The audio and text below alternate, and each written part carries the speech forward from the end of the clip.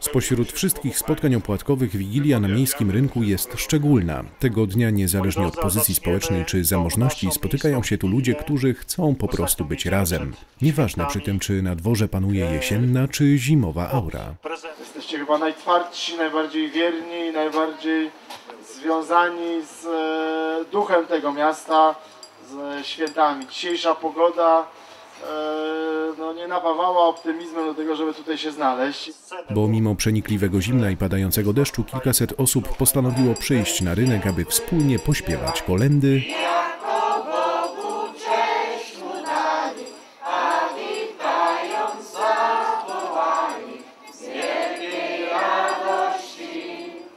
przełamać się opłatkiem i złożyć sobie życzenia. A czego mieszkańcom Legionowa życzył ich prezydent? Spokoju, przede wszystkim spokoju. Myślę, że żyjemy w bardzo niespokojnych czasach, pełnych zmian, pełnych e, politycznych harców, które gdzieś tam mogą ten spokój zmącić. I Nie dajmy się zwariować, nie z taką rzeczywistością Polacy dali sobie radę.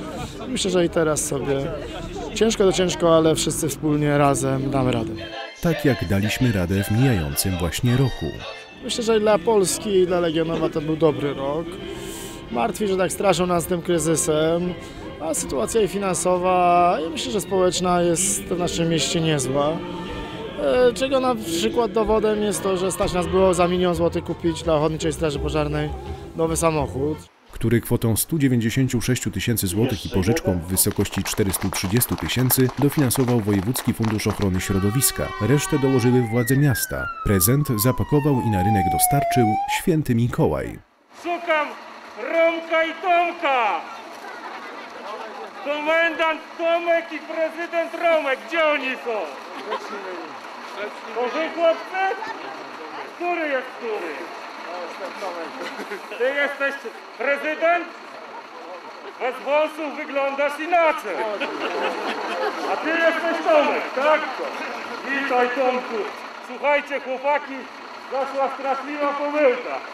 Wczoraj z elfami byliśmy na szkoleniu bardzo długo i rano pomyliliśmy prezenty.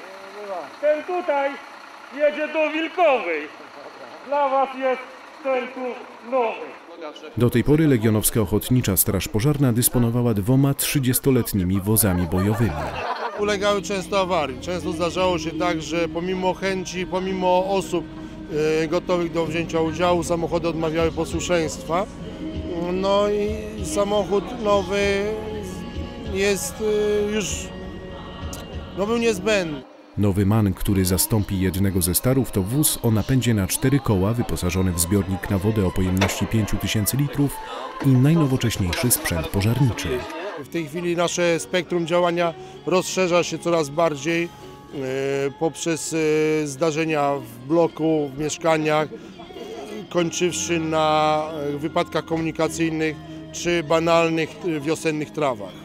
Będzie, będzie no, spektrum wykorzystania samochodu będzie pełne to, co e, przewiduje e, sztuka pożarnicza. Najlepiej byłoby jednak, gdyby nowy wóz był wykorzystywany jak najrzadziej.